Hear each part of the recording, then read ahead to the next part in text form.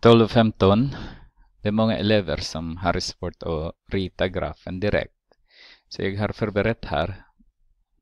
Men jag ska, jag ska visa er först att man kan göra faktiskt genom att uh, antingen skriver man i era miniräknare som uh, jag kommer att visa.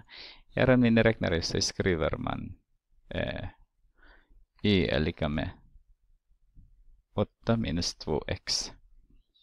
Så kan man se, se, redan, se redan där. Var ligger den?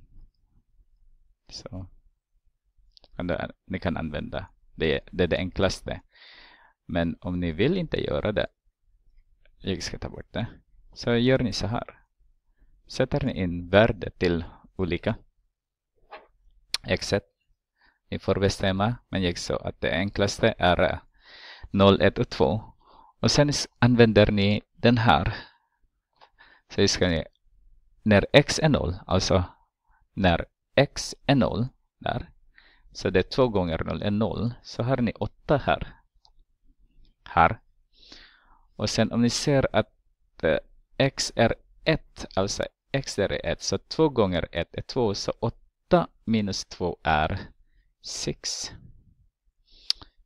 Och när x är 2 så har vi 2 gånger 2 där. Så har vi 8 minus 4 är det 4. Det räcker med 2 egentligen som jag sa. Men 3 för att se om det är sant. Och sen ni kan pricka dem. 08. Där bara. 08. Där är pricken. 1 och 6. Där är pricken. Den går ner två steg varenda x och sen 2 och 4. När ni är klara med den, då är ni redo att sätta in x. Och sen ni kan ni svara på frågorna i B. Bestäm x så att y är lika med 2. Alltså y är lika med 2 där. Vad vill ni x? Ser ni där? Så y är lika, nej, x är lika med 3. Eh, förlåt. Det ska vara den här. När y är lika med 2 så x är lika med 3 som ni ser där. Sen, vilken koordinater har linjens skärningspunkt med y-axeln? Med y-axeln, alltså skärningspunkt med y-axeln. Här är volt y. Så det är koordinat på den kan man skriva 0 och 8 när man pratar om koordinaten. Så ni måste se till att det är koordinat.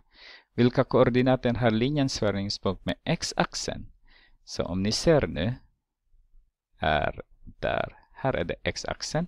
Så den är äh, där skur, eller skärningspunkten ska vara eh, 4 och 0. Koordinater också. Så vi måste ha 4 och 0.